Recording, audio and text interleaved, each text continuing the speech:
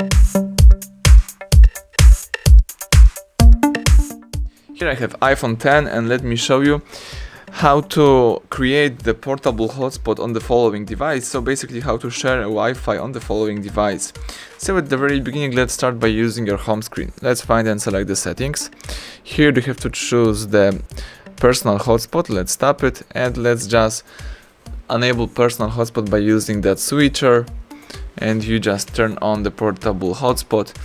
As you can see here you've got the Wi-Fi password right here. You can change it if you would like to.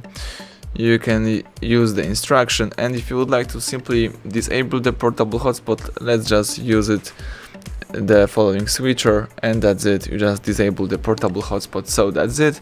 Everything went well. Thank you for watching. Please subscribe our channel and leave thumbs up under the video